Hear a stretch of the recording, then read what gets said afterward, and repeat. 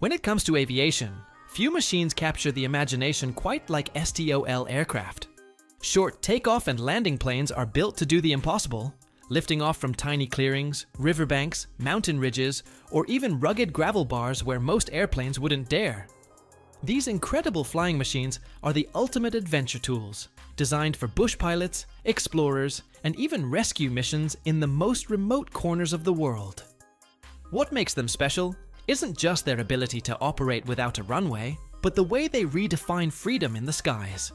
From rugged workhorses to futuristic prototypes, here are 15 incredible STOL aircraft that prove you don't always need a runway to take flight.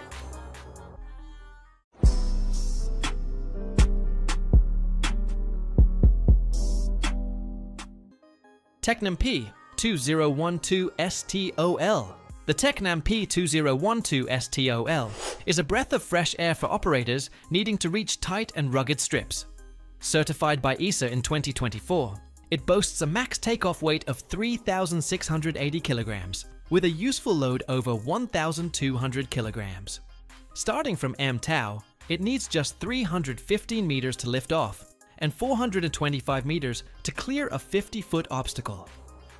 Landing over 50 feet requires just 360 meters, while the ground roll can be as little as 225 meters under favorable conditions.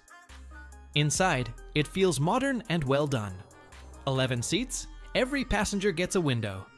USB ports, good air conditioning and cabin amenities, plus a roomy high wing view, and solid avionics.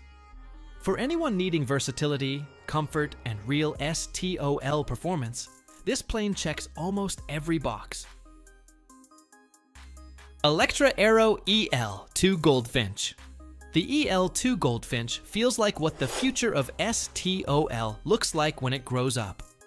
Electra has crafted a hybrid electric blown lift technology demonstrator that doesn't just talk the talk, but lands softly in under 114 feet and takes off in less than 170 feet, all while crawling along at around 25 knots during the trickiest phases. It's quiet too. Electric motors and lifted flaps combine so that off-runway grass fields and even tight pads are suddenly usable. The promise is huge a nine passenger production version in 2028 capable of cruising fast, using little infrastructure, and making aviation less about runways and more about possibilities. De Havilland Canada, DHC 6300. The DHC 6300 the Twin Otter is a legend among STOL aircraft, rugged, versatile, and surprisingly roomy for its footprint. Powered by twin Pratt & Whitney, PT6A27 engines, it can haul approximately 19 passengers, or cargo, and still lift off in just approximately 1,200 feet, approximately 366 meters, and land in approximately 1,050 feet, approximately 150 meters, 320 meters. Its cruise speed around 170 to 180 ktas gives it decent dash between remote strip to strip. What really sells it is the flexibility. Floats, skis, or wheels. Quick change interiors, strong frame, simple systems.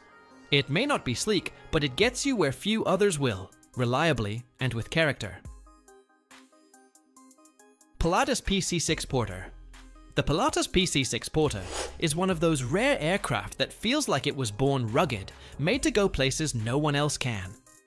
With its single Pratt & Whitney PT6 turboprop, enormous wing, and beefy landing gear, it hauls approximately 1,200 kilograms of payload, yet can squeeze into tight spots. Takeoff over a 50-foot 15-meter obstacle is about 440 meters, and landing is approximately 315 meters. It moves slowly, around 115 to 125 knots cruise, but the magic is how it carries people or cargo up to high altitudes, lands on glacier snow, gravel, or even floats, and still starts again next morning. Simple, brute useful, and legendary. Just Aircraft Super STOL. The Superstol feels like the ultimate backcountry toy for pilots who crave short strips, rough landings, and big smiles. with its self-deploying leading edge slats, massive Fowler flaps, and rugged long travel shock landing gear. It turns what most pilots consider rough terrain into fun taxiways. Takeoff ground roll is tiny, about 275 feet, approximately 84 meters, at its 1,320 pound maximum weight with the Rotax 912 engine. Landing can be even more dramatic with rollouts under 100 feet when conditions are right. Cruise isn't lightning fast, roughly 90 to 110 miles per hour, especially with big tires or under heavy load. But when your goal is getting into places no runway built, the Super STOL delivers. It's pure, joyful bush flying in kit form. Zenair CH701 Flying the Zenith CH701 is like having a bush pilot's dream in a backyard workshop. Its thick, high-lift wings, full-span leading edge slats, and flaperons give exquisitely low stall speeds, around 28 to 30 miles per hour, and let you float over fields at a near walking pace. The takeoff roll can be as little as 50 feet and landing roll under 100 feet when lightly loaded. Cruising is modest, roughly 80 to 95 miles per hour depending on engine choice, but that's not what you buy this for. What matters is control low, reliability, simple structure, and being able to get to places few others can. For pilots who love off-airport adventure, the CH701 is joy in metal and rivets. Savage Norden The Savage Norden is a beautifully balanced blend of bush plane grit and modern finesse. With a standard Rotax 915 IS engine, approximately 141 horsepower, double slotted Fowler flaps, electric leading edge slats, and a wing built for both cruise speed and whisper slow landings. It lives in both worlds. Takeoff roll can drop to approximately 40 meters, approximately 130 feet, with light load and favorable conditions. The cruise speed is satisfying, over 100 miles per hour with modest RPM, especially when fitted with a four-bladed E-prop. The cockpit feels surprisingly roomy, visibility is excellent, and features like large doors, rugged landing gear, and optional bush wheels make it genuinely capable off-airport. It's not just a toy. It's a serious machine for pilots who want to go places few other light aircraft can. Piper PA-18 the Piper P A18 Super Cub is more than just a classic. It's almost a spirit in aluminum, fabric, and big Tundra tires. With its 150 horsepower engine and high lift airfoil, it cruises around 100 knots, but shines when you're up close. Stall down with flaps is approximately 37 knots, and takeoff rolls of about 200 to 500 feet, approximately 60 to 150 meters over a 50 foot obstacle, depending on weight and variant. What makes it unforgettable is how it behaves when pushing off prepared strips. Rugged, forgiving, yet demanding respect. Tailwheel handling, visibility over the nose, simple controls, and a legacy of mods from floats to bush wheels add up. It's not just a bush plane, it's a standard for what outdoor, off-airport flying should still be. Knapp Lil Cub. The Lil Cub is a tiny monster of STOL ability, built with heart and ingenuity. This home-built two-seat high-wing tail dragger uses light Oratex fabric and clever aerodynamics to pull off takeoffs in approximately 11 feet and landings just as tight when using full STOL technique. Empty weight is around 685 pounds, approximately 311 kilograms, Gross about 810 pounds, approximately 367 kilograms, powered by a 120 horsepower Continental C85 engine. It cruises fairly slowly, with maximum speed near 54 knots. But that's not the point. Its stall speed is astonishingly low, approximately 17 knots, so what you lose in speed, you more than gain in the freedom to land just about anywhere. It's pure bush plane artistry. Aeroprakt A22. Flying the Aeroprakt A22 feels like piloting a magnifying glass for landscape. You see everything, every blade of grass, every dip in the terrain. With its large bubble doors and generous glazing, visibility is unmatched. The Rotax 912 engine, approximately 80 to 100 horsepower variants, gives it enough push. Stall speed with full flaps is around 60 to 70 kilometers per hour.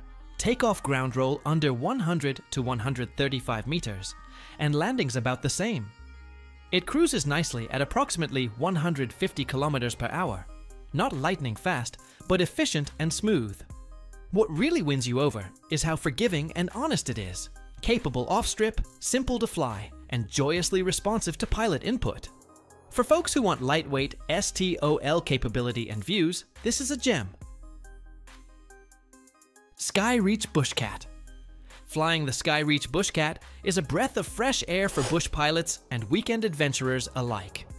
Powered by a 100 horsepower Rotax 912 ULS, this light sport two-seater feels rugged yet welcoming. With a useful load of approximately 260 kilograms, and empty weight approximately 340 kilograms, it strikes a strong balance between payload and performance. The stall comes in gently, around 38 to 44 knots, and field performance is solid.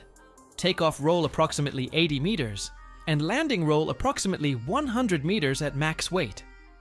The cockpit is impressively roomy. The single central stick gives direct control, and the option for tail dragger, nose wheel, or even floats add real versatility. Yes, it isn't built for speed. Cruise is around 90 miles per hour.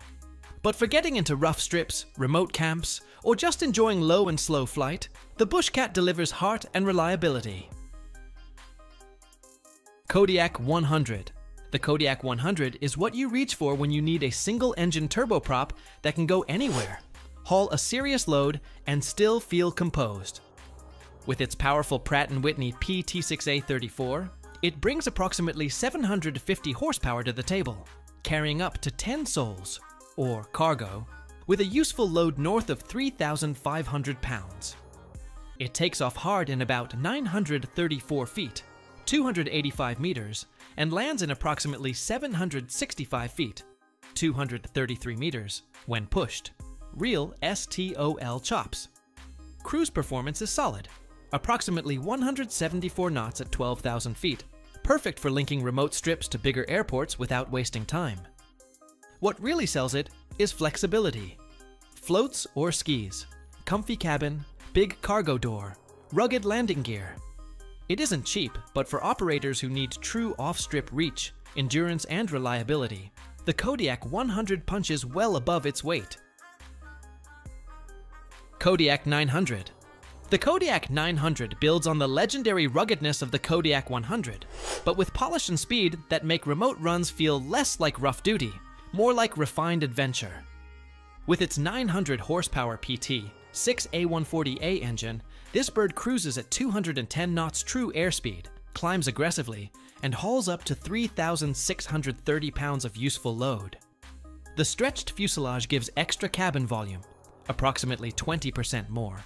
More windows, new Summit Plus seats, and modular layouts that go from plush passenger transport to workhorse cargo. The trade-off. Stall performance is slightly softened, Takeoff ground roll is approximately 1,015 feet, landing roll approximately 1,460 feet. Still very capable off-strip, but not as instant as smaller bush planes. Overall, it's a compelling tool for operators who want both utility and speed without losing spirit. Zenith C H 750 S T O L the Zenith S TOLCH 750 feels like the perfect mashup of rugged utility and livable comfort. Flying it, you're struck by how quickly it gets moving. With a 100 horsepower Continental O200, takeoff roll is only approximately 100 feet and landing about 125 feet at gross weight. The stall speed plunges to approximately 35 miles per hour, so you can gently drop into rough strips without much drama. The cabin is surprisingly roomy. Wide bubble doors, big wraparound windows, and a skylight make you feel part of the world outside, not boxed in. Cruise is modest at approximately 100 miles per hour, but that's fair trade-off given the lift and control at low speeds. All metal build adds confidence, especially on grass, dirt, or uneven strips. If you want to roam off-road in the sky, this one delivers. Cub Crafters XCUB. The X-Cub isn't just another bush plane, it's a serious beast reinvented. With up to 1,084 pounds useful load, cruise speeds around 145 miles per hour, 75% power, and top speeds pushing 153 miles per hour, it bridges backcountry ruggedness and cross-country capability like few others. It stalls low, approximately 39 miles per hour, so approaches are gentle and forgiving. Takeoff and landing rolls around 170 feet help it into tiny strips or remote fields. The cabin feels elevated, the view is panoramic, controls are modern, and comfort isn't an afterthought. If you want a plane that can haul gear, span long legs, and still sneak into places most can't, X Cub might just be the sweet spot.